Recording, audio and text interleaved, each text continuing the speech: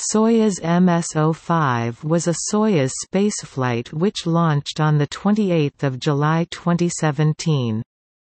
It transported three members of the Expedition 52 crew to the International Space Station.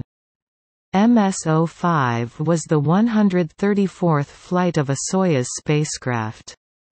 The crew consists of a Russian commander, and a European and an American flight engineer. It returned to Earth on 14 December 2017 after 139 days on orbit.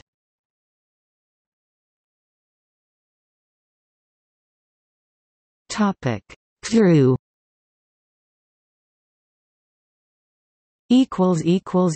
Backup crew